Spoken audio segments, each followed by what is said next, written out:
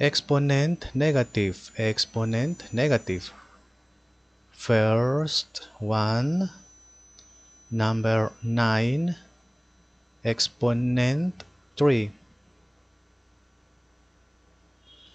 9 multiply 3 times. 1 2 3 9 multiplied by 9 is 81 multiplied by 1 is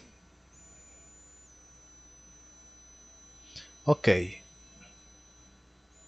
finish